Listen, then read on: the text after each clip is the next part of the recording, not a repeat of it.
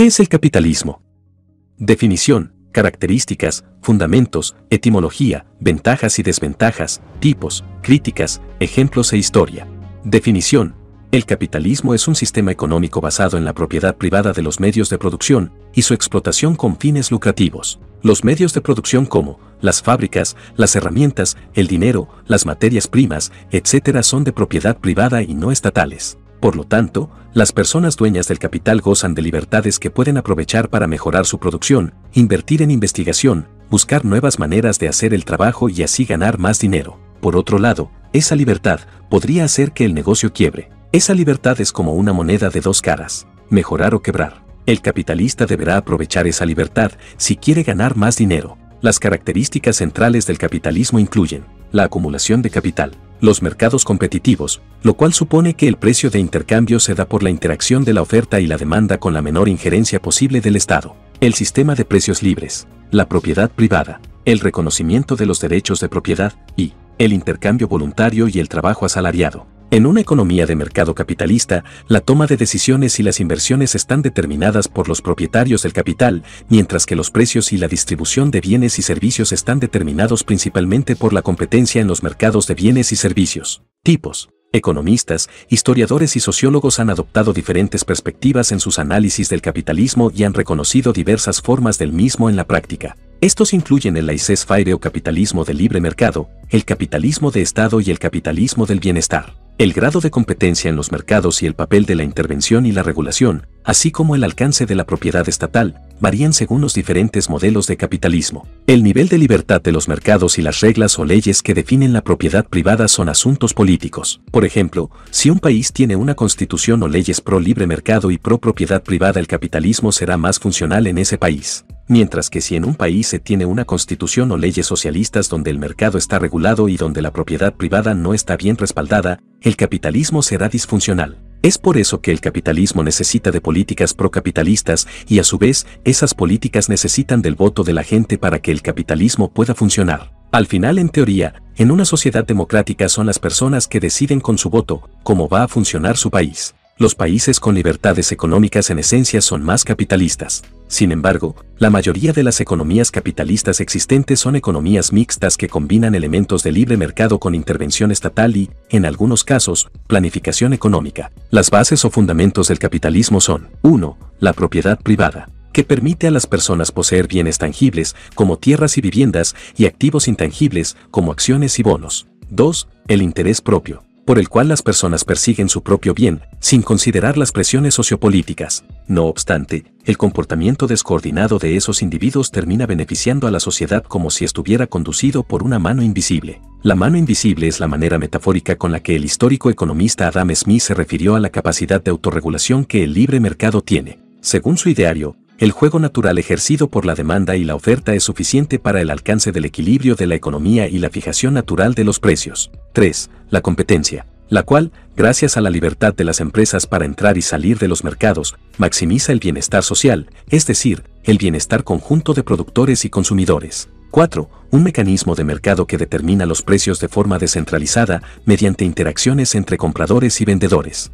5. La libertad de elección con respecto al consumo, a la producción y a la inversión. Los clientes insatisfechos pueden comprar productos diferentes, los inversores emprender proyectos más lucrativos y los trabajadores dejar su empleo por una mejor remuneración. Y 6. La intervención limitada del Estado para proteger los derechos de los ciudadanos privados y mantener un entorno ordenado que facilite el correcto funcionamiento de los mercados. Las diversas formas de capitalismo se distinguen por el grado en que funcionan estas bases. En las economías de libre mercado o de laissez-faire, los mercados operan con escasa o nula regulación. En las economías mixtas, donde se combinan los mercados y el Estado, el libre mercado tiene un papel dominante, pero están regulados en mayor medida por el Estado. Ventajas y desventajas del capitalismo. Ventajas. El libre comercio permite el acceso a una amplia variedad de bienes y servicios, promueve la igualdad de oportunidades. Para el capitalismo, aunque las diferencias socioeconómicas siempre existirán, una persona de bajos ingresos no está impedida de escalar en la sociedad.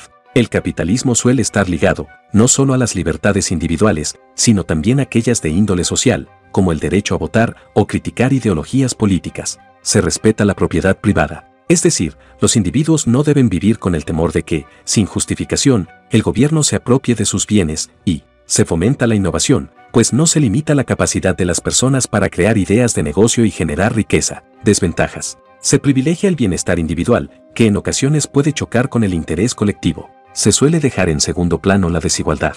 No se le suele dar prioridad al medio ambiente. No prioriza el abastecimiento de bienes y servicios básicos a la población y, se pueden dar abusos en el mercado laboral, explotando a trabajadores que no tienen el mismo poder de negociación que sus empleadores. Etimología. El término capitalista, que significa propietario del capital, aparece antes que el término capitalismo y data de mediados del siglo XVII. La palabra capitalismo se deriva de capital, que evolucionó de capitali, una palabra latina tardía basada en caput, que significa cabeza y la palabra capitali surgió en los siglos XII y XIII para referirse a fondos, existencias de mercancías, suma de dinero o dinero con intereses. Para 1283, se usaba en el sentido de los activos de capital de una empresa comercial y, a menudo, se intercambiaba con otras palabras como riqueza, dinero, fondos, bienes, activos, propiedades, etc. El uso inicial del término capitalismo en su sentido moderno se atribuye a Louis Blanc en 1850 y a Pierre-Joseph Proudhon en 1861.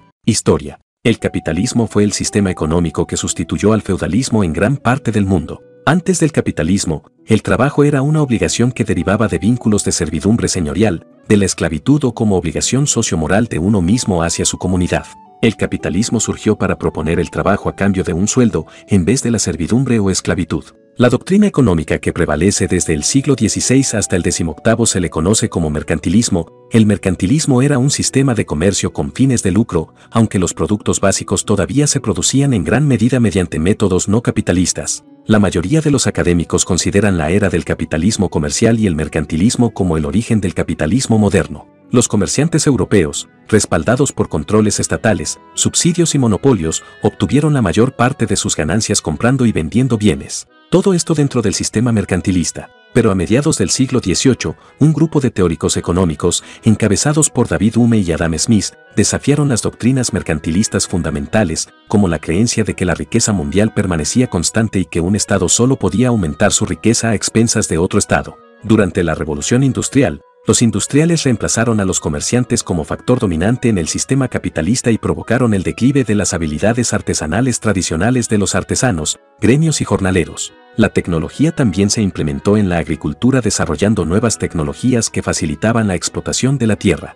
Las máquinas habían reemplazado a los humanos en cierto sentido y habían hecho multiplicar la producción a niveles sin precedentes. La población y el nivel de vida subió a niveles nunca antes vistos. El capitalismo industrial marcó el desarrollo del sistema fabril de manufactura, caracterizado por una compleja división del trabajo. El modo de producción capitalista finalmente se estableció. La Gran Bretaña industrial finalmente abandonó las políticas proteccionistas anteriormente prescritas por el mercantilismo. David Ricardo jugó un papel importante para que Gran Bretaña eliminara varios impuestos y leyes proteccionistas en defensa del libre comercio. Más adelante en la historia los procesos de globalización llevaron el capitalismo a todo el mundo. A fines del siglo XX, el capitalismo superó el desafío de las economías centralmente planificadas del bloque comunista y ahora es el sistema que abarca todo el mundo. Su forma mixta es la más dominante en el mundo occidental industrializado. Ejemplos de capitalismo. Estados Unidos es un ejemplo de un país capitalista, especialmente durante la Guerra Fría, donde fue el antagonista del sistema comunista con una economía planificada.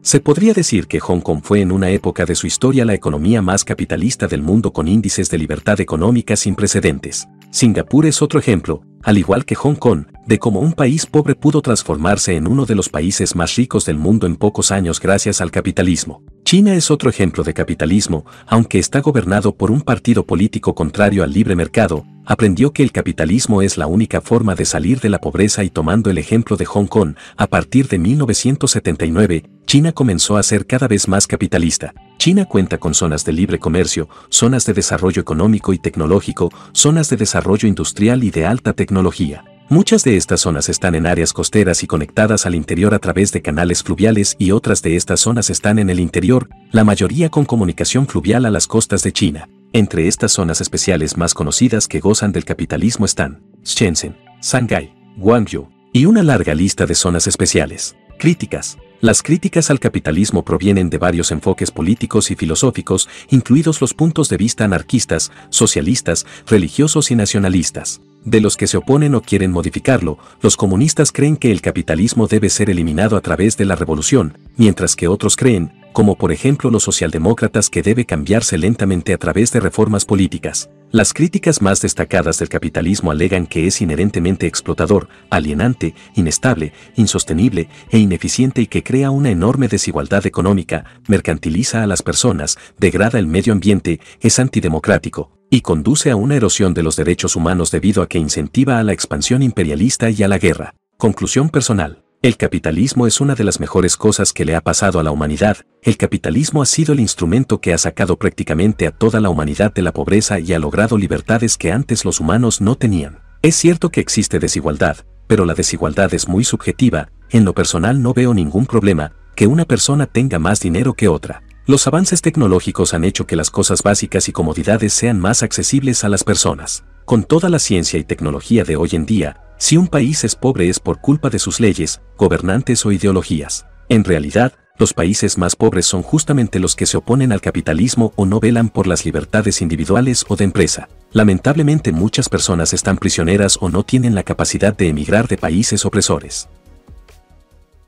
Muchas gracias por tu atención. No olvides que, si tienes alguna pregunta, puedes dejarla aquí abajo en los comentarios. También no olvides dejar tu sugerencia de algún tema para los próximos videos, para que yo pueda realizarlo. Dime de qué quieres que hable en el próximo video. Si me quieres ayudar a seguir haciendo más videos, te invito a seguirme, suscribiéndote o haciéndote miembro de este canal.